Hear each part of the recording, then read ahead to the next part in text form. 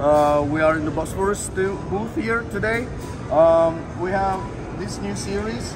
It's like a Turk series, but it's not only double, it's instead over three times uh, hammered with these extra marks, which makes it even even more drier and gives a beautiful, different, beautiful, different surface instead of comparing to these what we have regularly. Okay.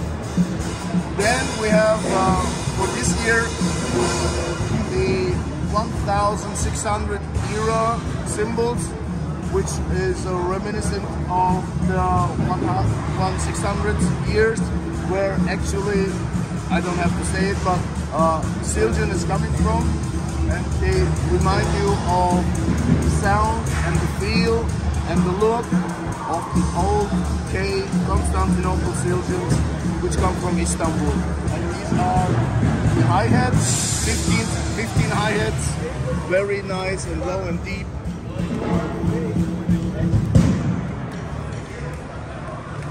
We have a whole bunch of range of 20, 21, 22 and 24 rides like this one.